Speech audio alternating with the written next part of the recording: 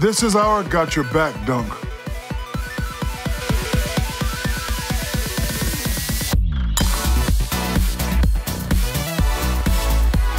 Now show us your dunk for a chance to win.